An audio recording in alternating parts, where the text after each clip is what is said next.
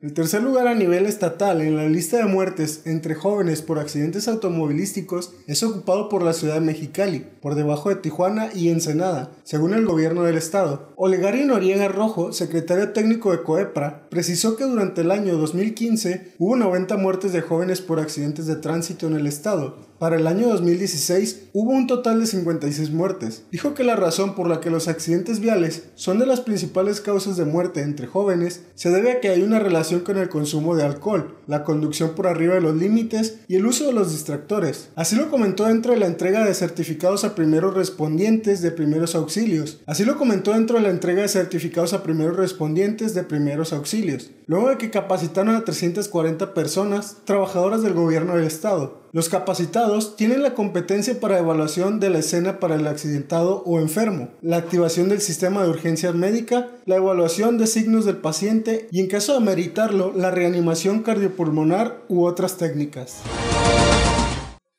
Desalojo de los migrantes haitianos de los distintos albergues. Más de 500 haitianos no han solicitado la regularización de estatus migratorio en Baja California y el resto ya comenzó a ser desalojado de los albergues. Así lo explicó José Luis Hernández Ibarra, delegado de la Secretaría de Gobernación en Baja California. Los centros de atención a migrantes en Tijuana ya fueron liberados de haitianos y en Mexicali aún permanecen en el hotel del migrante. El plazo ya se venció y ya se están sacando, comentó. La finalidad de liberar los albergues es para atender a los connacionales que llegan desde el interior del país o a aquellos que son deportados. Actualmente en Baja California se tiene un padrón de 3.500 haitianos, de los cuales 1.200 tienen permisos para estancia regularizada. Algunos mantienen el trámite solicitado para la visa humanitaria en el gobierno de Estados Unidos, que puede tardar hasta 6 meses para tener una respuesta, explicó.